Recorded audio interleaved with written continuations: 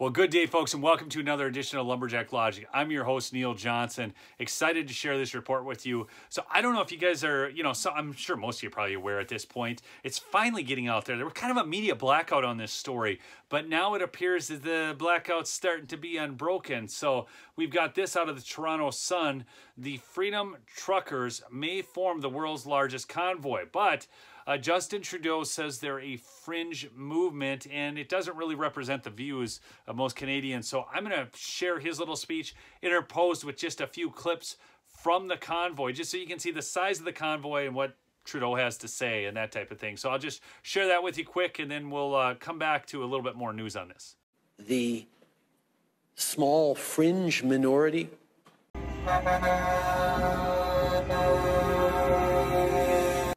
of people who are on their way to Ottawa or who are uh, holding unacceptable uh, views uh, that they're expressing do not represent the views of Canadians who have been there for each other.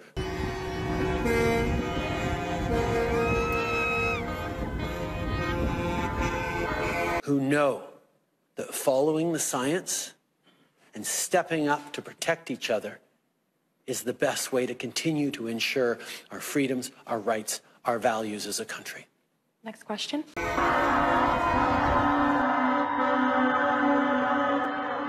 So it's an impressive convoy, but here's the thing. According to Guinness World Records, the longest truck convoy ever recorded was seven and a half kilometers long in Egypt in 2020. This out of the Toronto Sun. Currently, the convoy in Canada is 70 kilometers long, says Benjamin Dichter, spokesman for the Freedom Convoy 2020. And he says he's even got some footage uh, from an airplane and he's seen it all. He says it's really impressive. By, but by Wednesday, truckers hope to have taken their protests through to Manitoba and will make it to southern Ontario on Friday. Now, with a convoy being this big and this much going on, you would just think this would be kind of all over the news. I'm I'm quite certain. Maybe they just missed it. Um, maybe they're uh, maybe the news outlets just weren't aware. I mean, because I mean, we saw the the BLM protests and Antifa protests, which were. Uh, you know, uh, much more violent, I would say. Wouldn't you say those were more violent? I, they had nonstop coverage. So, I mean, I'm assuming they just don't know yet, right? I, they must not just, I don't know what else it'd be. Anyways, please, plans call for the convoy to arrive in Ottawa on Saturday for a protest if it gets there in time, and if the convoy holds together as it has in British Columbia, Alberta, and Saskatchewan, it could be 10 times larger than the world record. Because more trucks are going to join this convoy, okay? The largest parade of trucks consisted of 480 trucks and is achieved by Tahya Misr Fund in Egypt, in Cairo, Egypt, on 20th of November 2020, Guinness says on its website. With a length of seven and a half kilometers, Tahya Misr Fund was able to organize a parade of 480 trucks amid the harsh weather and heavy rain, breaking the Guinness World Records title for the largest parade of trucks, which was achieved 16 years ago in the Netherlands with 416 uh, trucks. So here's the thing I mean, they're talking about cold in Egypt. Man, you ain't experienced cold till you go up to Canada. Look, I live just south of the border. Okay, I'm way up northern Minnesota, and it's been cold. Like how cold, you ask? Well, we wake up to 24 below, 30 below. Today it's mild. It's pretty warm out there. It's, uh, it's up to 20 degrees, man. We're like in a heat wave. It's on a heat wave. I'm serious. It's hot. It's hot, man. I mean, I tell you what, I got to walk around in my shorts. It's so hot out there. It's just nuts. Anyhow, there's a little wind, though. It gives a little bit of nip. But anyhow, these are the estimates. There are estimates that the convoy could comprise 50,000 trucks from the west, east, and even from the United States. It's difficult to speculate what will transpire in the days ahead. But as it's getting, I mean, I saw the Hill reporting on this. Uh, now we've got the Toronto Sun. So it's getting out there more and more. It looks like Ottawa could be swamped with long haul truckers on January 29th, but with the winter weather and potential issues, including possible roadblocks or traffic snarls, time will tell. Yes, I'm sure uh, Trudeau doesn't want that kind of happening, right? So whatever happens, it won't be for lack of support. Now, this is where the story gets really interesting. Thousands of Canadians have lined the route, cheered from overpasses, and offered to feed drivers in their homes and restaurants. It's a grassroots demonstration that has become far bigger than anything the organizers had ever envisioned. With that comes problems. Media reports said a GoFundMe campaign of the convoy, which had surpassed 5 million by Wednesday morning, had been frozen by GoFundMe. Now, you guys have heard this, but here's the thing. Fake news, said Dichter. This is the organizer of the rally, whose name, along with Tamara Lich, is listed as the organizer. It's not true, he says. It hasn't been frozen. GoFundMe spokesman Rachel Hollis told the Toronto Sun, We are continuing to work directly with the organizer to gather information about how funds are being distributed. This is part of our standard process to ensure the protection of all donors. And once a withdrawal plan is approved by the organizer, our team is on standby to safely and quickly deliver the funds. Well, let's just be real here. It's no wonder people would have suspicions about GoFundMe, okay?